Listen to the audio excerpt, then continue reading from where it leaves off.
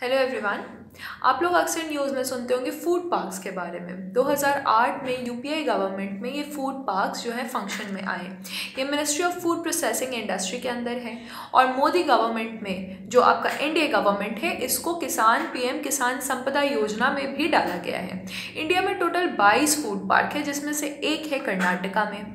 और कर्नाटका में अभी अम्बाले विलेज को, जो कि चिकमंगलूर डिस्ट्रिक्ट है कर्नाटका का, उसको 10 एकड़ लैंड दिया गया है ताकि वो अपना मसाला पार्क, जो कि स्पाइसेस पार्क है, उसको डेवलप कर सके।